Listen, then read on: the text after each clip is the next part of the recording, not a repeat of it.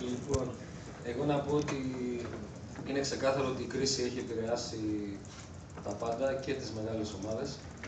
Και ο Ολυμπιακός και ο Παναθηναϊκός ε, έκαναν στροφή στα, αν και είναι πυρηνικά υποβρύχια, να βάλουν στο πλήρωμά τους ε, νεαρούς και Έλληνες παίκτες.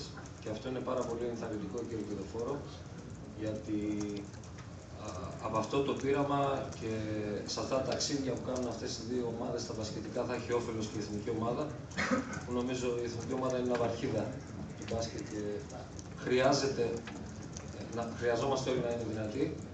Όσον αφορά για τις υπόλοιπες 12 ομάδες, ε, νομίζω λίγο πολύ τα στοιχεία είναι σε όλες ίδιες, οικονομικά προβλήματα, αλλά μέσα από αυτή την προσπάθεια νομίζω θα περιμένουμε όλοι να αναδειχτούν χαρακτηριστικά αντοχής, ε, συσπήρωσης, ιδέας, κάποιες καινούργιας ιδέας και ενός καινούργιου τρόπου δουλειάς που όλοι περιμένουμε να δούμε γιατί στο μπάσκετ είναι ανταλλαγή ιδεών και ανταλλαγή απόψεων. Ελπίζω όλες οι ομάδες να είναι δυνατές και να είναι υγιείς.